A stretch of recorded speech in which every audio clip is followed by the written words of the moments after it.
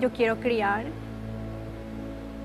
una mujer fuerte que no aguante lo que yo aguanté por querer formar una familia.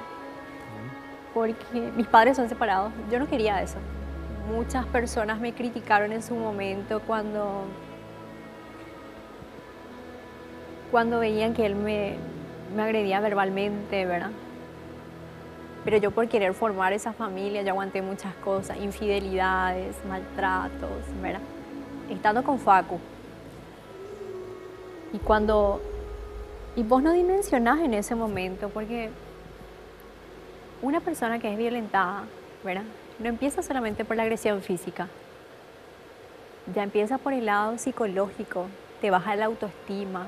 Vos decirle, miras así a las personas y decís, ¿qué va a tener baja, baja autoestima esa chica? Es modelo. No saben todo lo que pasa. estás viviendo por dentro, claro. Vos te estás pudriendo por dentro.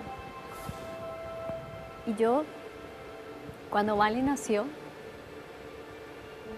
yo lloré tanto porque yo no le esperaba. Claro, Y yo decía, yo no quiero que ella pase lo que mi hijo vivió. claro. Y lo mismo con mi hijo, yo soy muy dura con mi hijo. A veces yo le abrazo y lloro, ¿verdad? Porque yo no quiero que él, porque él presenció ese momento, es algo que yo no me perdono, ¿verdad? Y eh, es difícil salir de ese cubo de no me hago la víctima, yo no soy ninguna víctima, yo digo siempre y sostengo, yo soy una sobreviviente, ¿verdad? Y yo puedo contar hoy mi historia. Y déjame decirle a esas mujeres que pasan por lo que yo pasé, que hay una salida.